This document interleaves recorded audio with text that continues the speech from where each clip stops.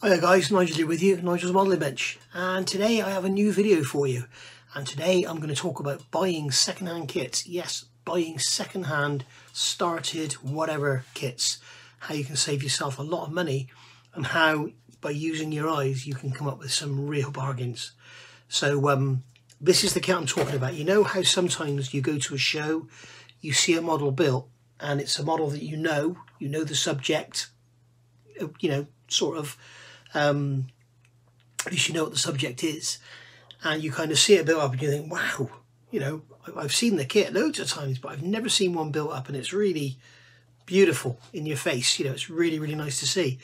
So, and that kit for me was this, that being this kit here, the Merit Trumpeter 1939 HMS Ark Royal. And it's a, it's a beautiful kit. You see, it's quite a big box. It's 1 350th scale. Um, it comes with lots and lots of aircraft, as you can see on the side of the box there. And it's really, really nice. Um, as I say, I've seen a few reviews of it. There's one or two build, or at least one build online you can go and see. Um, and uh, yeah, it's it's it's a it's a beautiful, beautiful model. When you see it in the flesh, you know, with the red and the grey and the, the, the way the hull is shaped and everything, it's really, really nice. It's very, very sort of slender. It's beautiful. Um, so ever since then, I've had to get one. And then I went and looked at the price. Oh, I almost fell out of my chair. It's like 145, 150 pound. Obviously you can find it cheaper elsewhere, but uh, I thought there's no way I'm paying that for it. So I just kept trolling eBay looking for it. And then this one popped up and I bid on it and I won it. And I'm really, really glad I won it. So let's have a quick look and see what I got. And, uh, and then I'll tell you what I paid for it and uh, we'll go from there. Okay, so as I say, the whole subject of this video is all about buying second-hand kits, using your eyes, looking around and seeing what's out there. So as you can see here, we've got the box with all the parts laid in it, and you'll notice the parts aren't in bags. Um, that's because this kit had been started. Now, a lot of people I know will look at kits that have been started. No, I don't want it, not interested. But with this one, all that had been done is the glue, the glue, the glue halves, the hull halves had been glued together. And unfortunately, the guy that did it used super glue. And as you know, I don't like sticking major parts with super glue due to cracks. And because of that, it was quite easy to get apart. Um, certainly the main seam along here, I literally just broke it, it just snapped away. And then on the ends, I had to do put some acetone in there and get some softening going up. But we got in there and we got it all apart. In fact, on the back, I even managed to retain the pins as you can see. Now these in here you have like cross members going across. Obviously the pins on those snapped off because I couldn't get the acetone to, pe to penetrate without just melting the plastic so I just cut them off re-drilled them remade the pins which you'll see in a minute. But this isn't a review but this is all about getting something that you want cheap. So as I say there aren't many reviews of this so we'll have a very quick look through the instructions. So the kit number is 65307 it is Merit Merit is basically Trumpeter Hobby Boss, same company. Um, I think they make it for them under license or something, and then but it's all come. You can see by these instructions, it's all made by the same manufacturer. So basically, it's Ark Royal as she appeared in 1939. So if you want to build one of a later date, you'll have to look around for some optional extras and stuff, and start adding stuff. Like here, they've got a degaussing cable. I don't think she had a degaussing cable in 1939, but whatever. So even here we've got the sprue callouts. As you can see, I've ticked these just to make sure I've been through and checked that everything is there. That's the first thing you want to do when you buy a, a second-hand kit, even if you know, even if it's still bag sealed, you just want to check the a bag could have fallen out. They may have bought the kit and had a you know check for broken parts, whatever. It's always worth doing. So we've got basically sprue callout. As you can see, there's not very much to it at all. I think this kit is actually a little overpriced, to be honest. When you consider this is like 145 pound um, you know, that's more than a Tamiya Mogami. Um, it's only a little bit less than a Tamiya um, Yamato Premium, which is worth the money. Um, you know, so it's half the price of a 200 scale Yamato. It's, it's crazy. Anyway, so the construction is a little bit weird. Uh, you put all these side pieces in, which are the hangar decks and everything, with all the bulkheads and that in them and the railings, into the sides, and then you actually assemble the whole halves together, which is a, a, bit silly. I would assemble the whole halves together so you can deal with the seam and then add these detail parts in later. Um, and then you're going to add your guns, your main flight deck, and then you've got a crane going in here. Um, they tell you to make eight of the guns on the side. These are the 114 millimeter barrel. Um, not Bofors, are they? They're not Bofors. I can't remember what they are now, but they're basically some big old guns. So uh, they're pretty good. There's uh, six of those. Sorry, eight of those. And then you've got your um, propeller shafts and screws going in and everything down there. Uh, they're showing the rudder as being in place. I don't remember adding the rudder. Maybe you're supposed to add the rudder. Yes, you add the rudder in this stage here. Um, so yeah, you're adding all your propeller shafts and everything, and then you've got your Bofors going together, and then adding life rafts to the side. We've got some catwalks going on the side, and then we've got these things here, which I don't know what they are, but if you wouldn't mind telling me, I'd love to know what they are. They stick out the sides and they pivot up and they hang down. Uh, there's many pictures of her sort of leaning over just before her demise, and you can see these things hanging out. I'd love to know what they are. Um, and then we're adding some more railings around the sides as you can see some more of these things which hang out on the sides and then we've got catwalks around the end there and then um, more of those things on the sides and then we're into more of those things. And we're adding cranes and lifeboats and stuff or ship's boats should I say. And we've got some more details going on. Then we're onto the main bridge itself or the island should I say. And then we've got the funnel going on top of there. Some more gun placements going around. And then we're into aircraft. We've actually got five swordfish we've got four of the Fairey Fulmars which is one of my favourite aircraft from World War II and then we've got four of the Blackburn Skuas so uh, it's all going to look quite nice with all those aircraft on there and then we've got an actually included stand which would look nice if you painted it up nicely and then we've got the catch fencing going in there adding the island adding some of those guns in job done. So very, very nice kit indeed. As I say, a bit overpriced. So let's have a look what I got in the box. So here are obviously the whole halves and as you can see they've been glued together and I managed to get them apart. The reason I wanted to get them apart is the gentleman that built this um, actually put filler, green stuff filler around the bottom and when I actually looked I could see the filler from the inside so there were gaps. So I wanted to get rid of that. So basically took the whole halves apart and the deck had never been glued on so the deck's here in perfect condition. That's all good. So um, happy that that looks.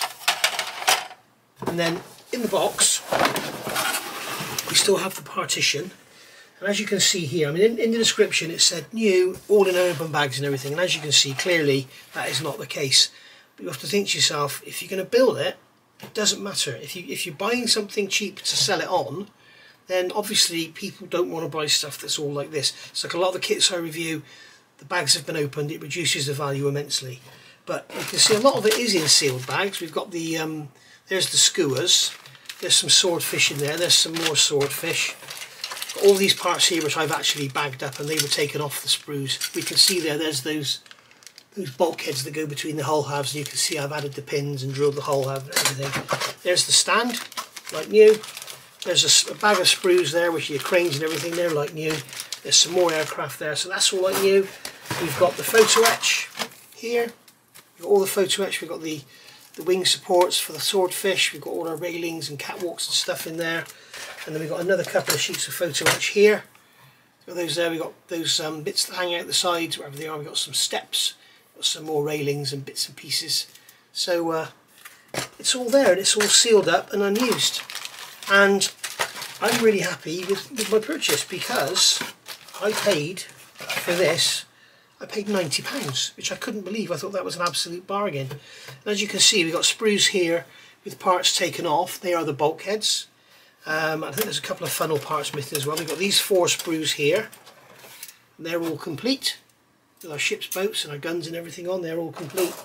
We've got um, these parts here off the ends of here are missing. They're actually parts of the bridge that I've got in the, the island, should I say, that I've got in the bag. There's our rudder there. This, as you can see, this sprue is untouched. And then we've got this sprue here, which is all our hangar decks and everything. You can see there's lots of detail on those. Lots of sort of raised detail. And then we got our, our fore and aft decks there with the chains and everything on them. That'll be replaced. So, uh, all very nice indeed. So yeah, I paid £90 for this, so I was more than happy with my purchase because, as I say, with a retail of 145 I was more than happy to pay 90 because, you know, that's basically it's like getting 50, 60 quid off. Now I'm sure I could have got it for cheaper somewhere else. I looked on Amazon and it wasn't very cheap. But basically, I've done a bit of work, got it all apart. I'm back to having a new kit and there's nothing I can't sort out. I mean, it's a it's a simple seam on a hull. It's going to be glued together, sanded and dealt with, and that's all fine. So that's that. But the main reason for making this video is to show you that you really can get yourself a bargain because not only did I get the kit for £90, I also got these here. So these are, let's zoom you in now. Let's bring you in. So these were um, these are 6274, so these are the Fairey swordfish made by Trumpeter. They're in the Run 350th scale, you've got all the parts and all the PE in there, you've got your painting guide on the side. And as I say, there's six of them in there. So there's another six aircraft, so we've got 11 swordfish in total. So that was also in the box. We also got these Fulmars, there's six of these Fairey Fulmars in the box. As you can see, all brand new, all unopened, all sealed, just like you all ready to go. So they were in the box as well. And again, you don't get separate instructions, you get instructions on the back of the box on how to assemble them if you actually need that, and then you've got a painting guide on the side. And I think I had decals in there, didn't I? Did I have decals in there? There we go, there's decals. We've got our RAF roundels and everything on there, so that's all cool. So they're probably even unopened. So, you know, that's that's brilliant. But not only did I get those, I also got these. Here's our Blackburn Skuas. Again, we've got six of those in there. Decal sheets, we've got instructions there, and painting guide on the side. So there we are.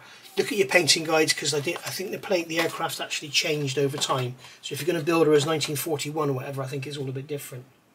So that was all in there as well, which I thought for £90, I mean, we're up to, what are they, about, say, say they're about seven or eight pound each you know, we're up to 170 quid now. But not only was that in there, we also had this. The British Aircraft Carrier Ark Royal top drawings from Witold Koszela. And it's a Kagero production, it's in Polish and in English, and we've got drawings in 1 200 scale, so that's nice. And you can see in here we've got all the drawings, and the book is very nice indeed. Let me zoom you back out a bit. There we go. So the book is very nice indeed. We've got some history about Ark Royal there. We've got an aircraft that she carried. We've got the armament that she's got. And we've got some photographs here. You can see here's listing before she went. Um, and yeah, very, very nice indeed. Very nice book. Got some lovely detailed drawings. As for their accuracy, I do not know. So it depends what their original reference material was. But you've got drawings in there, so you have some sort of reference if you want to rely on it. You've got the aircraft in the back there. You've got the ship's boats You've got a couple of walruses. I'm thinking I might get a couple of walruses to go on this because they are nice. And then we've got our lovely, lovely guns all set out there. Guns and cranes and everything. And um, I wish it would tell you what they're, they're. That's cranes, that's not what I'm talking about. But what I'm talking about are those things that stand up on the sides. So, um, yeah, all in all, these things here, see these things here sticking out? That's what I want to know, what they are. You can see them here sticking out as well. So uh, yeah, I'd love to know what they are. But basically, it's great. I mean, that's probably 12, 15 pounds worth. So now we're up to nearly 200 quid. And we've got the drawings in here, which are all like new, all folded up neatly. As you can see, this is um, these are 1 400 scale, these drawings. You can see we've got colour colour guide there for this is as she sank so that's um, you can see we've got a two-tone scheme there and we've also got the degaussing cable so that'd be nice to do it as that because it's a little bit more colourful and it's nice to build build ships as they sank in my opinion. That's what I like to try and do anyway. But uh, you can see we've got the swordfish on the back there. Very nice indeed. Then we've got another lot of drawings there which aren't on glossy paper. You can see there's the 200 scale. That'd be nice wouldn't it? A 200 scale Ark Royal. Lots and lots of portholes yes I call them portholes and then we've got another that's the stern there in 200 scale so uh, very very nice that's how she appeared in 1940 1940 and then if we flip over I think we've got 1941 I saw some pics 19 it's got 1940 and then we've got 1941 they included a degaussing cable which makes me think there we go turn that over. 1941. Uh, and she's got a degaussing cable. So very interesting. So I would like to build it as 1941 because that's the as she sank and also she's got two, two colour hull rather than the one colour. So yeah, I mean that, that was in there as well. So, you know, brilliant, great. But there's one big bonus this kit come with and this is what I'm saying.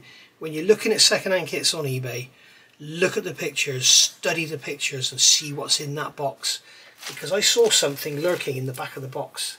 And it was this wooden decks and I thought, hmm, that's interesting. And I could see that number. And I thought, I wonder what they are. And I realised it's part of this. This is the Veryfire 1 350th scale Ark Royal Detail upset. And if you have a look online for this set, I think you'll find it's pretty much unavailable these days. When it was available, it was about 160, 150 quid. And there it is, bagged up, brand new and untouched. So now you can see what I'm on about.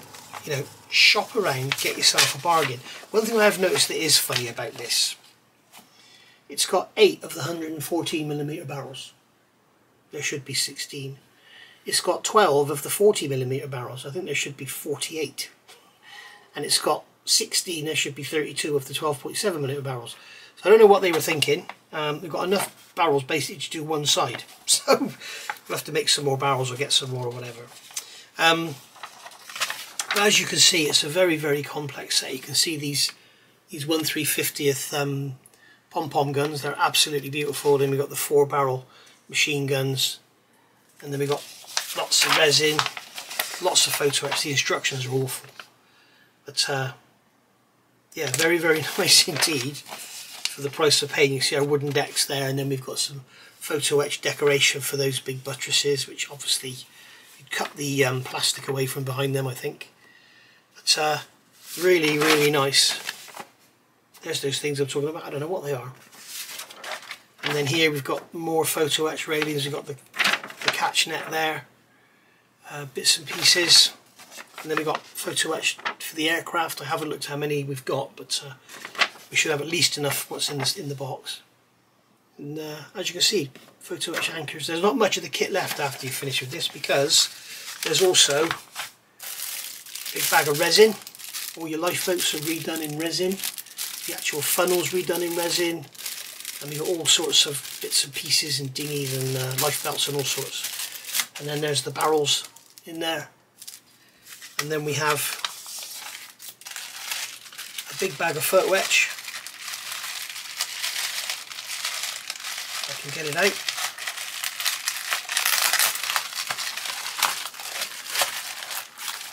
As we can see here we've got a sheet A. you can see there's one sheet there and then there's sheet B. Sheet C is mainly made up of railings and some steps. Then we've got a degaussing cable there on D, which is nice. It's got the shapes and everything. You have to use that, don't you? And then we've got, what's that? That's D. So now we're looking at E. E is the ship's railings, bottoms of the lifeboats, some buttresses and stuff. Very, very fine parts. Very small parts indeed. F is the basis for our ship's boats. Then we've got the tops of the ship's boats.